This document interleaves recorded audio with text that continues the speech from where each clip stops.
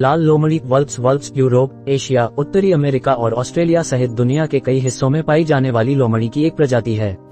यह सच्ची लोमड़ियों की सबसे बड़ी प्रजाति है और अपने लाल नारंगी फर, लंबी झाड़ीदार पूंछ और नुकीले कानों के लिए जानी जाती है। लाल लोमड़ियाँ अनुकूलनीय होती हैं और जंगलों, घास के मैदानों, रेगिस्तानों और यहाँ तक शहरी क्षेत्रों सहित कई प्रकार के आवासों में रह सकती हैं। वे सर्वाहारी हैं और उनके आहार में छोटे स्तनधारी, पक्षी, कीड़े, फल और सब्ज़ियाँ शामिल हैं।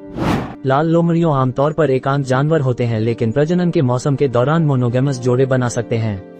वे अपने गायन के लिए जाने जाते हैं, जिसमें छाल, चीख और भौंकना शामिल है, जिसका उपयोग वे संचार के लिए करते हैं। लाल लोमड़ी एक व्यापक और अपेक्षाकृत सामान्य प्रजाति है, हालाँकि इसे निवास स्थान के नुकसान, शिकार और रेबीज जैसी बीमारियों के खतरे का सामना करना पड़ सकता है। उन्हें कभी कभी कीट भी माना जाता है, क्योंकि वे पशुओं का शिकार कर सकते हैं या फ़सलों को नुकसान पहुँचा सकते हैं।